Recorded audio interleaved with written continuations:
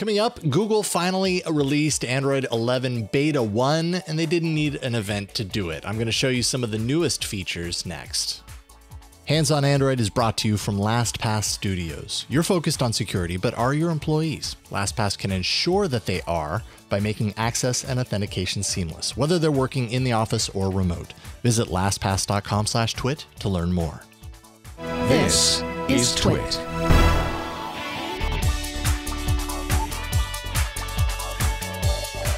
Hey everyone, I'm Jason Howell, and I happen to have Google's newest version of Android 11, Beta 1, running on my Pixel 4 XL. It was very easy to do. I'm going to show you how to do it if you want to test it out yourself, but this is a big deal. It's a big moment because prior to this, all you had were their developer previews, and those are really cutting edge. It's really entirely meant for developers. And so you end up with a whole lot of crashes. I would not even think to run the developer preview on my everyday phone that I rely on in the real world.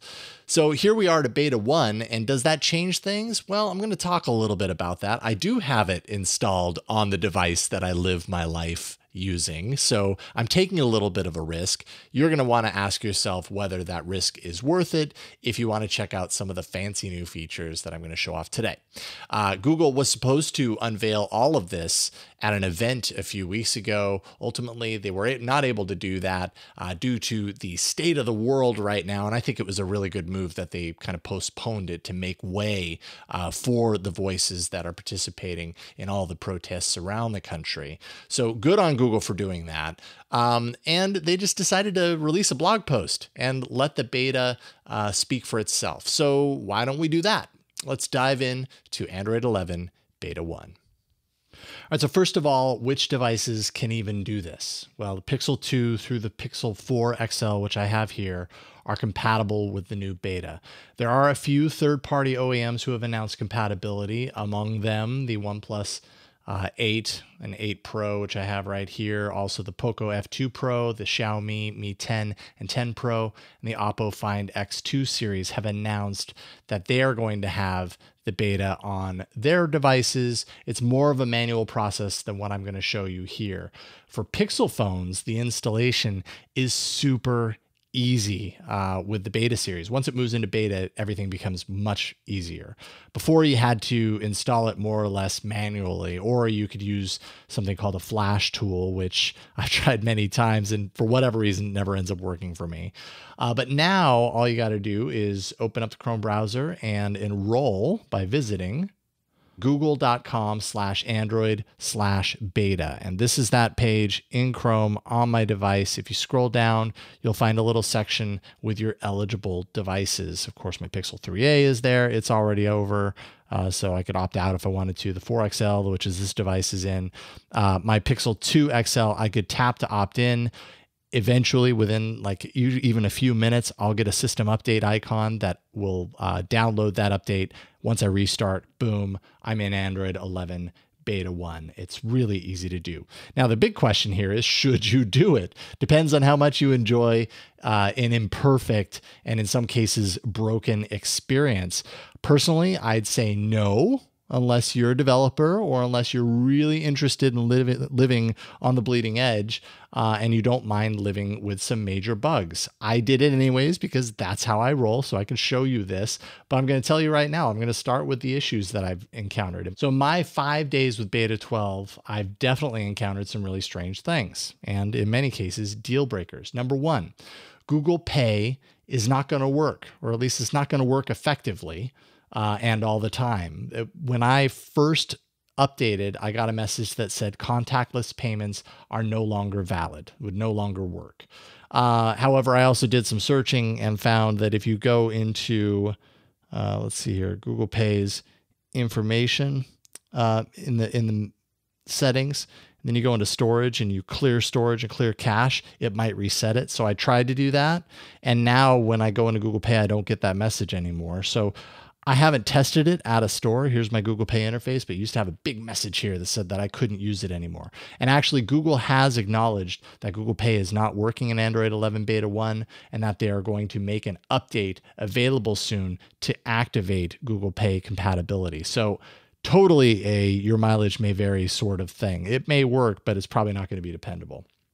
Number two, I've encountered some really strange camera quirks, particularly with video recording. I'll be video recording for maybe five, six seconds, and then suddenly the video recording will stop and it'll say that there's an audio device that's interfering with the recording. So if you value long form video recording in the camera app, I would say you might want to steer clear of Android 11 Beta 1. You might end up in a similar situation where suddenly it just decides to cancel on you and not work. And sometimes it works for me, and sometimes it does the cancel thing. So right now it seems to be doing okay, but I definitely caught some footage of that. So take a look at that. And then finally, and this is totally expected, not all apps and games work on Android 11 Beta 1. Developers haven't done the work to make it totally compatible. So you probably expect that.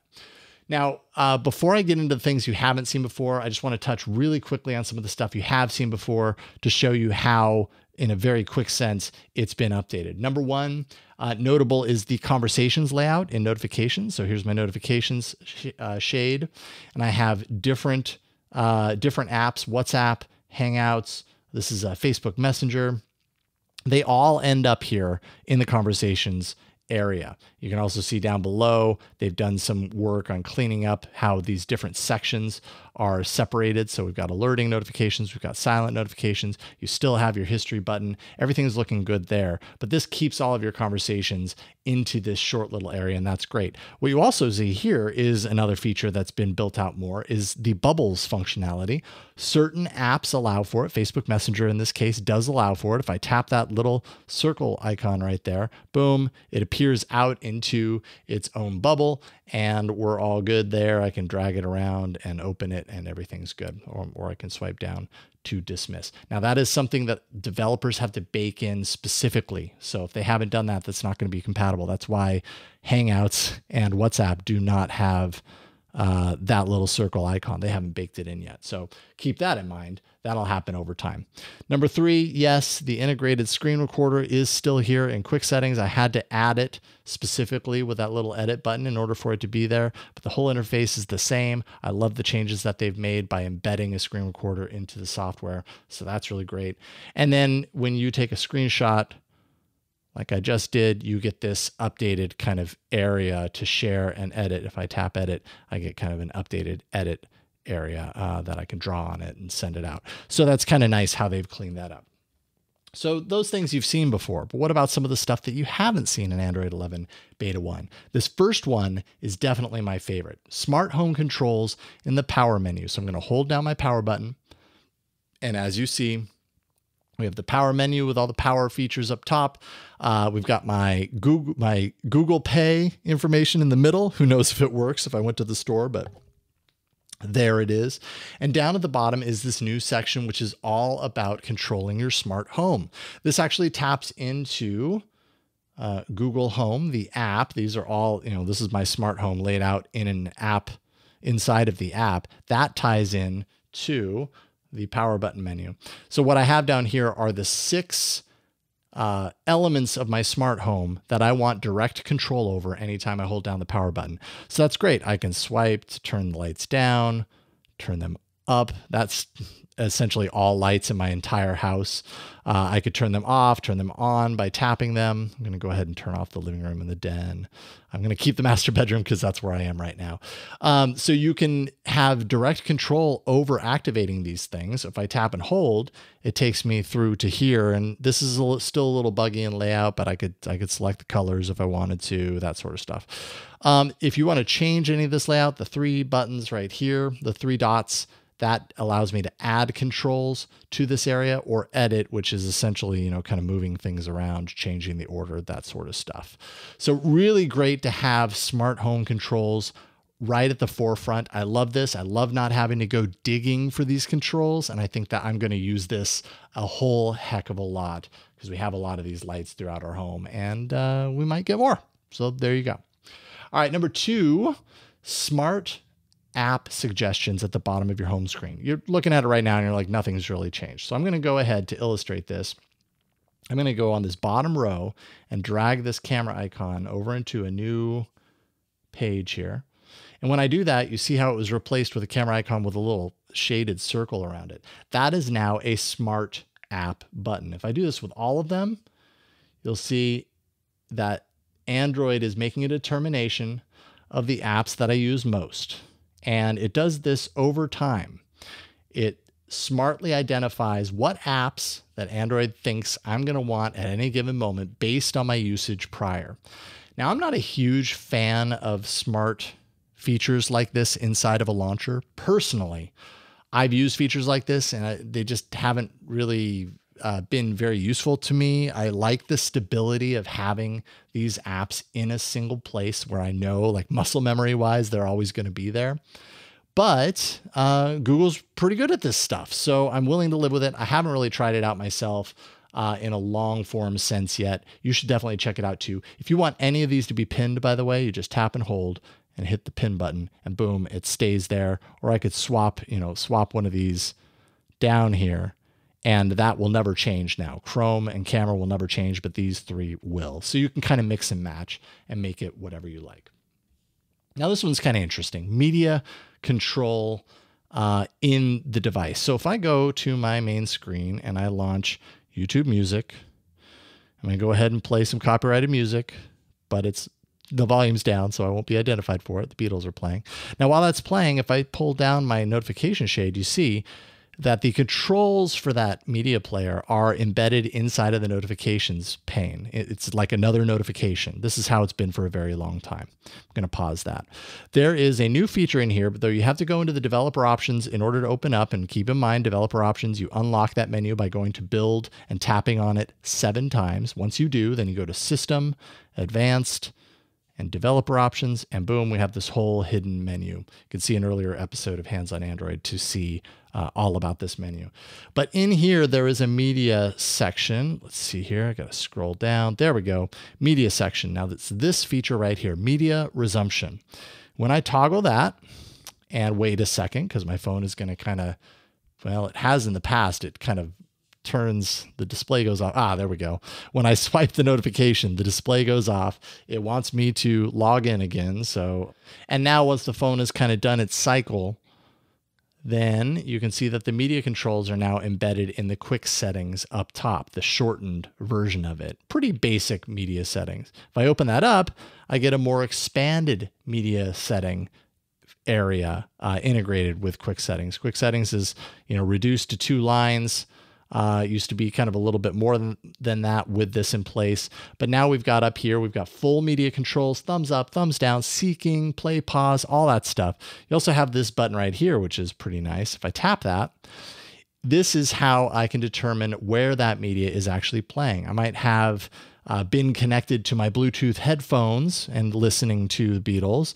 And then I put my headphones down on the table and came upstairs, and then I want to listen to it through the phone speaker. Well, if the phone is still connected to the headphones, um, instead of like going downstairs and putting the headphones away, I could just open this up and select phone speaker, and that music will transition and transfer over to the phone speaker. So easily transitioning between Bluetooth destinations, which isn't always the easiest thing in the world. Nice to have that integrated. And finally, recents, the recents page, which is also known as the multitasking screen, got a little bit of a facelift. Uh, below the app cards, this used to be the Google search and that row of apps that I was showing off earlier.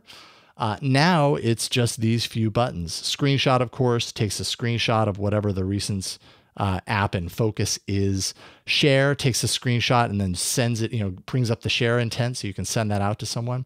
And then select allows you to select any of the text on this particular screenshot and you can you know i can select as much of as I, as I want copy it out all that kind of stuff. Allows you to kind of integrate uh, interact with that a little bit. So pretty neat stuff. Uh, really liking where this is heading so there you have it. Um, you know, like I said, it's really up to you whether the risks of running the beta on your device are worth it. You're going to run into snags, no question about it. For me, I'm really bummed to not have Android Pay. I'm really bummed that my video recording is not working perfectly. I have a good feeling that Google's going to release something relatively soon, but even if they don't, right? Then I'm just waiting for beta 2 and I hope they release it then. All in all, it really just kind of proves that betas are still bleeding edge. It's still cutting edge and not 100% meant for consumers. It is, after all, meant for developers. So you're really taking a chance. You're taking a risk, and you might just be best to wait and let me do the heavy lifting for you. And I'll show you what's cool uh, as they come out. Send me your questions at handsonandroid at twit.tv. You can also subscribe to this show by visiting our show page, twit.tv slash HOA for Hands on Android. There you'll find all the ways to subscribe in any of the podcatchers uh, that you might be using, as well as jumping out to YouTube and subscribing there. Thank you all for watching Hands on Android. I'm Jason Howell. We'll see you next week. Hey folks, it's Micah Sargent here, co-host of Smart Tech Today right here on twit.tv. Every single week, Matthew Cassinelli and I sit down to talk about smart tech for the week. That's right. It can get kind of complicated, but there's a lot of news out there. There's a lot of products to dig through. There are a lot of questions to answer, and we try to do that all every single week. From voice assistants to wearables to smart garage door openers and lights, there's so much to cover and well, so little time. So be sure to check it out. It's twit.tv slash STT. Huh, that rhymes.